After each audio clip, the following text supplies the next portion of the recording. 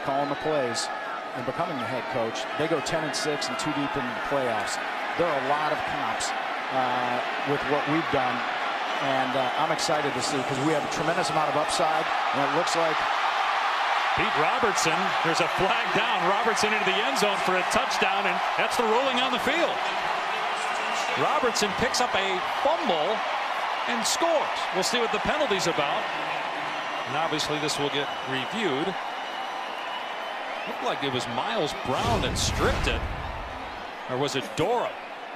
Yeah, Dora stripped it, but Cardale Jones' knee may have been down. I don't know about that, David. Seriously, we might have to go back and look at that because I thought that pig was coming out.